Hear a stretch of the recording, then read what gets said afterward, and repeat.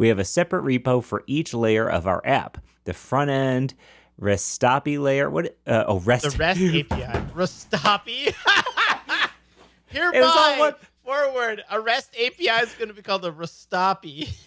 it's a Restapi. I, I just read that. It's all one word here. The REST API layer. I was like, what's a Restapi layer? This is uh, fascinating. Oh, man, he rewrote it in Restapi. Okay.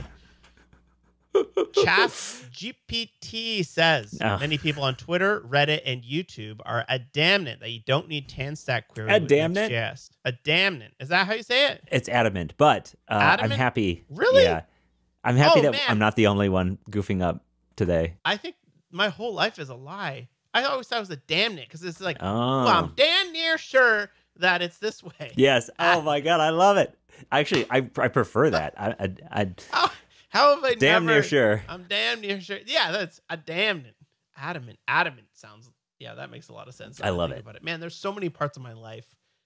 No one has, no Same. one has ever corrected me.